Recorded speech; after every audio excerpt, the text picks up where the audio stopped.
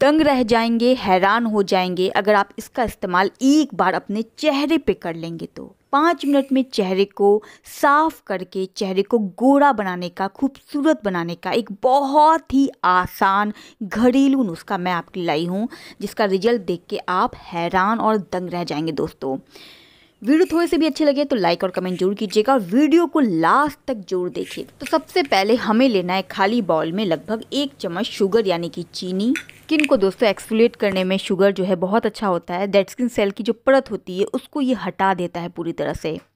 दूसरी चीज़ जो हम यहाँ पे ले रहे हैं, वो है कॉफ़ी पाउडर तो लगभग आधा चम्मच आपको यहाँ पे कॉफ़ी का पाउडर लेना है। कॉफ़ी जो होता है दोस्तों डैमेज स्किन को रिपेयर करने के लिए बहुत अच्छा माना जाता है। स्किन जो है, वो सन के कारण पॉल्यूशन के कारण केमिकल के कारण डैमेज हो गई है, ख़राब हो गई है तो उसको ये रिपेयर करता है। उसके बाद हम यहाँ पे ले रहे हैं थोड़ा सा कोकोनट ऑयल यानी कि नारियल का तेल, जो एक बहुत अच्छा मॉइस्चराइजर है। साथ में आपके स्किन को हील करता है। इसमें विटामिन ई e है, जो स्किन को यंगर लुकिंग बनाने में आपकी बहुत हेल्प करता दोस्तों है। दोस्तों, आपको यहाँ पे लेना है हाफ़ लेमन यानी कि नींबू। तो आपको आधा नींबू का रस इसमें डालना है। और इसको एक बार थोड़ा सा आप मिक्स कर लीजिए। मिक्स करने के बाद दोस्तों, आपको इसी नींबू के टुकड़े पे इसको डालकर अपने चेहरे पे, अपने गर्दन पे इसको इस तरह से, ये देखिए, इस तरह से इसको अप्लाई करना है। ये जो रेमेडी है दोस्तों, आपकी स्किन को अंदर तक साफ़ कर देगी, आपकी स्किन की जो गंदगी है पूरी तरह से बाहर आ जाएगी, आपकी स्किन को अंदर तक क्लीन करके आपकी स्किन को निखारेगी।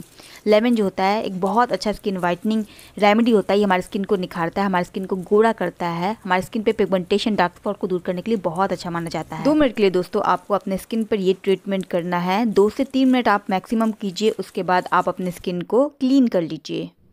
अच्छे से स्किन को क्लीन करने के बाद आपको यहाँ पे एक बहुत ही इंपॉर्टेंट स्टेप फॉलो करना है। इसके लिए आपको लेना है एलोवेरा का लीफ। तो मैंने फ्रेश एलोवेरा लीफ यहाँ पे लिया है। आप देख सकते हैं येलो कलर का जो लिक्विड है, वो यहाँ पे निकलने लगा है। जब भी आप फ्रेश एलोवेरा लीफ जो है, वो काटते हैं तो एक येलो कलर का जो लिक्विड है, वो निकलने लगता है। उसको यूज़ कभी भी नहीं करना चाहिए स्किन पर दोस्तों। कभी भी स्किन पर आप इसको मत अप्लाई कीजिए। उसको थोड़ा सा आप इस तरह से टिश्यू पेपर से या फिर कपड़े से आप इस तरह से क्लीन कर लीजिए। उसका इस्तेमाल कभी भी हमें एलोवेरा का जब हम सेवन करते हैं, उसमें भी नहीं करना चाहिए और स्किन पे भी नहीं करना चाहिए।